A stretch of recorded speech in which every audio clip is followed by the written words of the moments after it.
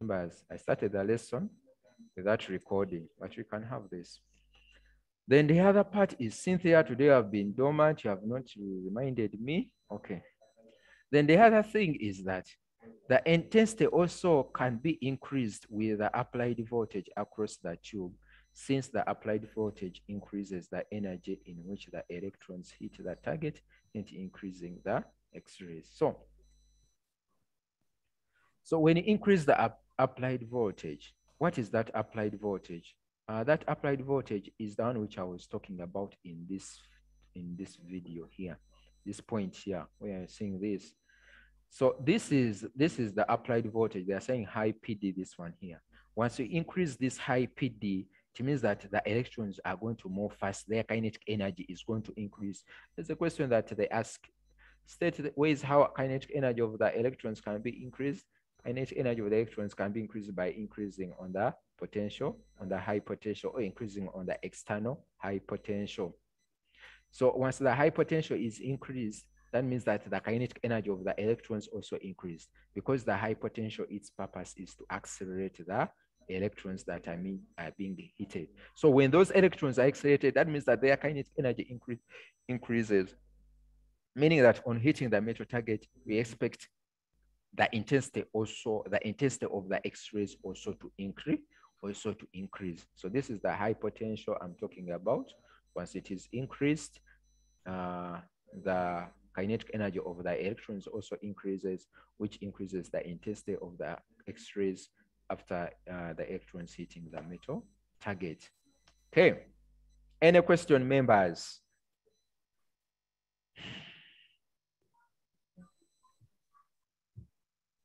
Any question?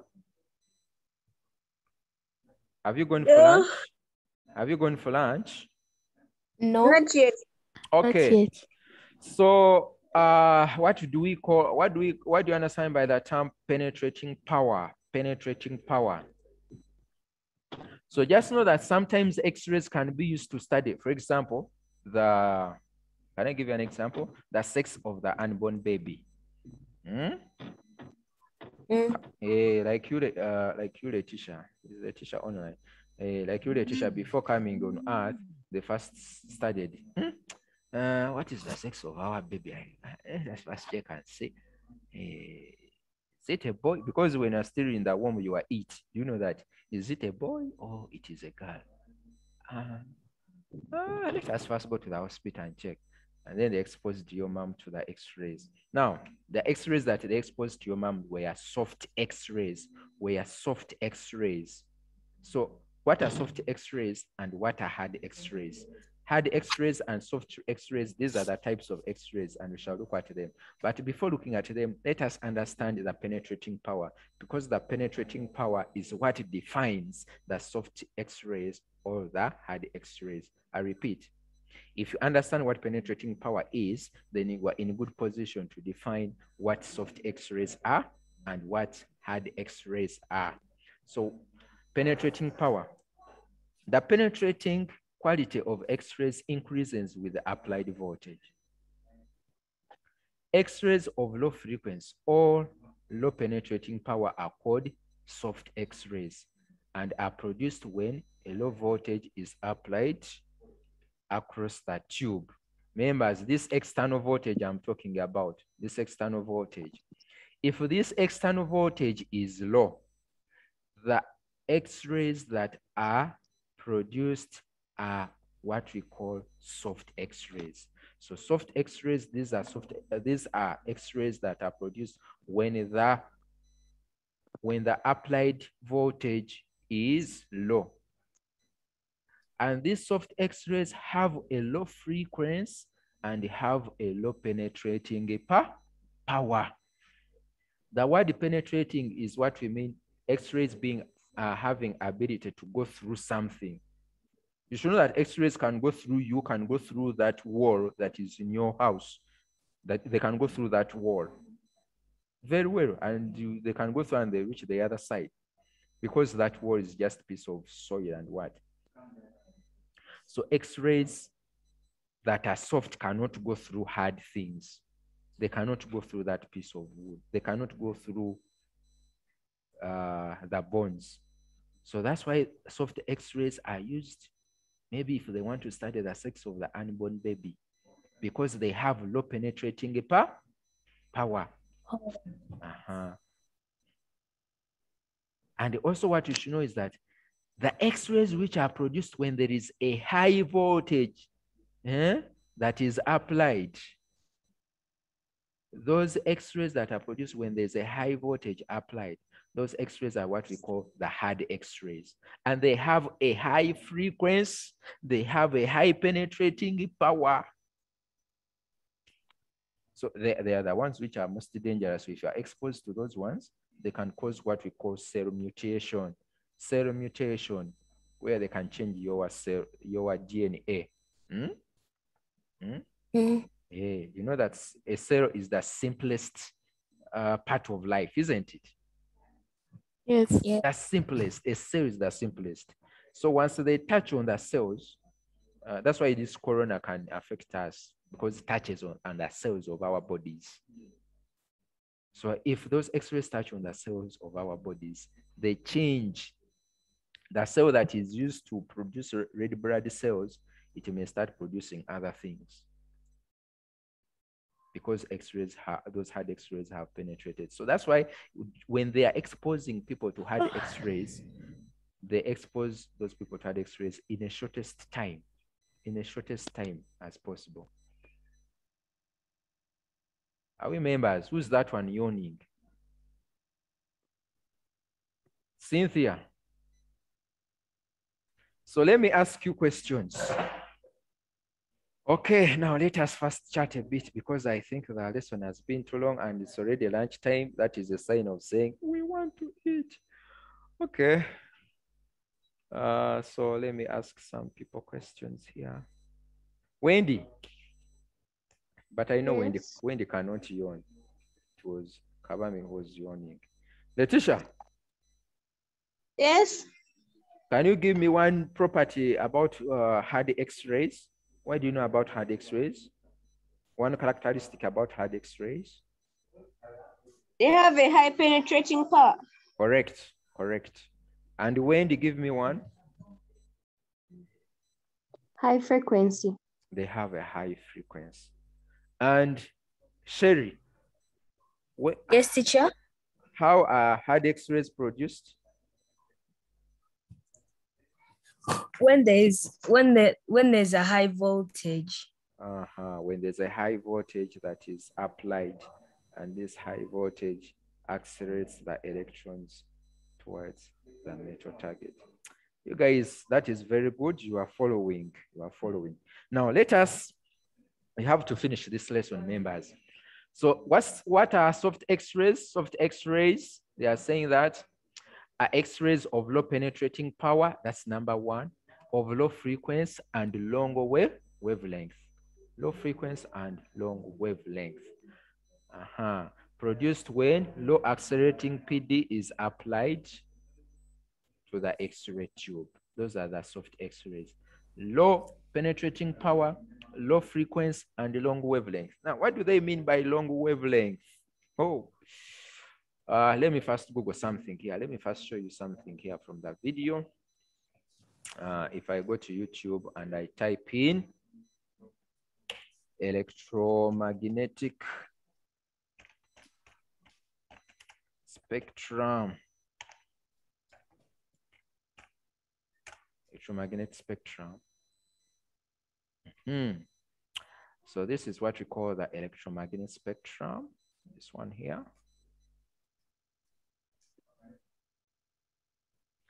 Not this one. Members, don't look at this word. I noticed time. Some of you are hungry. Yeah. I don't know why Jumia enters my one, but let us see.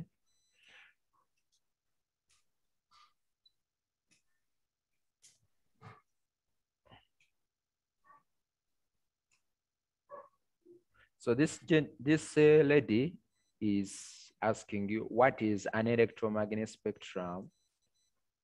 So electromagnetic spectrum has got very many radiations. Most of them come from the sun. Most of them cannot be seen. Most of them travel very fast, have a high frequency, have wavelength. And that's what we call the wavelength. So you see, these are, this is what we call a wave. Have you ever seen people dancing wave? Huh? Cynthia? Yes. Hey, you know how to dance wave, isn't it? I saw you last time, eh? So this is a wave. Even that's how waves are. So there's this distance from here up to here. That's what we call the wavelength. So if uh, if the wave, let me do this. If the wave has got, uh, let me show you something here. Uh, using my, if this is the wave like this, this wave has got wavelength. That's what we call wavelength. It's, called, it's noted like that, wavelength. But is if this wave is like this, uh, like this. Hmm?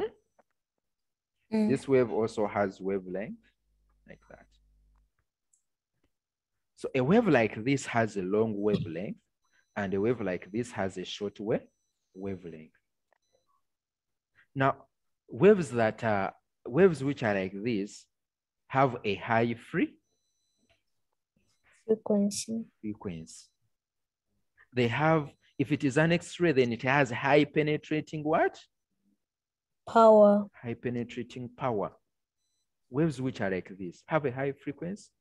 And what you should know is that they have shortest, shortest wavelength, short wavelength, not shortest, but short wavelength, short wavelength.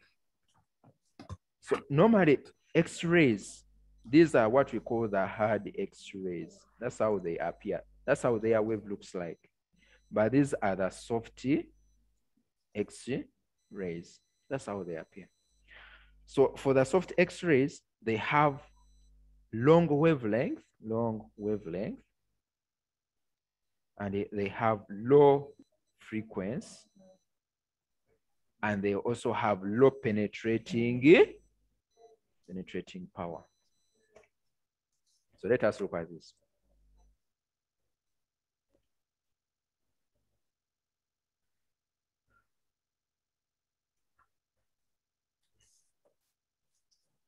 So these are the radio waves. Radio waves have long wavelength. These are radio waves from the station.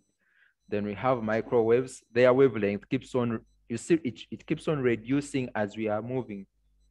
For example, all those things use microwaves. So infrared comes from the sun.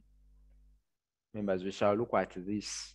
I don't know whether I want to study electromagnetic spectrum, but these are all interesting things. So this is this is where we have the uh, invisible spectrum, and these are the this is light which you can see. You can see yellow light, you can see green light. These ones we can see with our eyes. But other rays, we cannot, we cannot see radio waves, we cannot see microwaves, we cannot see infrared, but we can see visible light.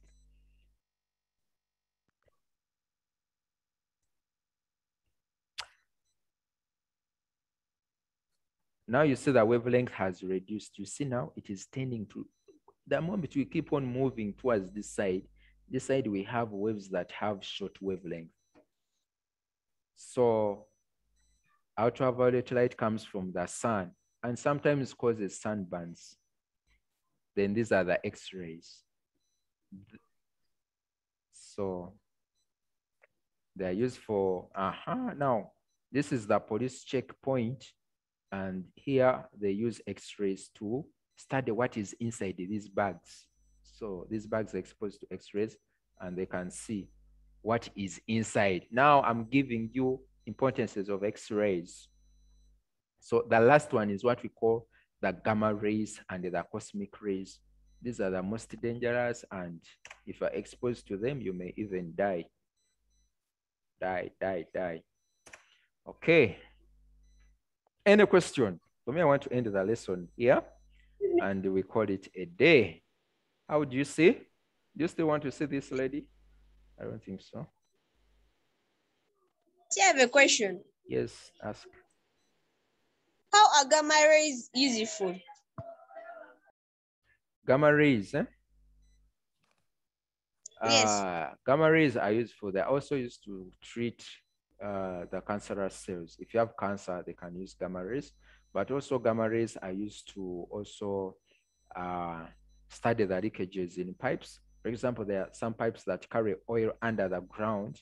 So what they do is they put an element that produces gamma rays. When I talk about elements, you go back to your chemistry, there are very many elements. One of the elements they use is uranium or they can use polonium and they put it in the in the in the pipe that is carrying the oil. Now they use what we call a GM tube. We shall look at it later on. A GM tube, and that GM tube can detect. They can detect where the leakage of the pipe is. So it is uh, X-rays also. Uh, I mean, gamma rays can also be used to study the cracks inside inside uh, the cracks inside walls. Uh, if you have a big wall, those people who construct and there is a wall, but there is a crack inside, they can use gamma rays. Uh, also, gamma rays can be used to, uh, they can also be used to as pests, they can be used as pesticides uh, to kill pests and what and what, all those things. So there are very many things. Eh? They also they are also used to study the crystalline structure of different elements. For example, diamond, and you study the crystalline structure of diamond or other elements. Uh, so Letitia, Letitia, Yes. don't worry, the physics Yes, is, the physics has just started, okay? yes, I just started. We shall look at all those things. I've just given you a clip of what we call of what we call the electromagnetic waves, but we shall go deep in details and study each property, each property, its purpose. Now, members, next time when we meet, we shall look at the properties of X-rays, and I will show you all the things which are here, how they ionize glasses, how photographic film, zinc what, and we shall also go ahead and look at the dangers of X-rays, how they destroy cells, cell mutation, damage the eye, uh, safety precautions, and also the uses in hospitals uh, to treat tuberculosis, to detect ulcers, all those are uses. And how can you locate a broken part of your bone using X-rays? Shall look at that. Industrial uses. X-rays are also used in crystallography, that is studying the crystalline structure of the elements using X-ray diffractions. Ah, by the time you finish senior six, you'll be able to understand what X-ray diffraction is meaning when you're studying physics. And also security, we have seen uh, the police check when they are checking those people. Later on, we shall be able to differentiate between cathode rays and X-rays. Ah, so members, hmm? Hmm? Yes. Yes, teacher. So that story will continue. I would like to end here for today. Eh, so, uh, Wendy, do you have the notes? No. Hey, Wendy, you go to the website. Go to the website. We have only one minute. Go to the website. And once you go to the website, go under resources and download the book called Ordinary Physics by Kent. Are you listening? You go to resources here and then notes and exercise.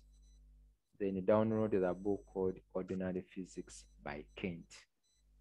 Okay? Yes. Yes, and those are the notes we are using. So you can type in physics. This book here, this one. to download it. Okay, members. I'd like to end here. Have a nice day and revise and revise and you pass. Bye bye.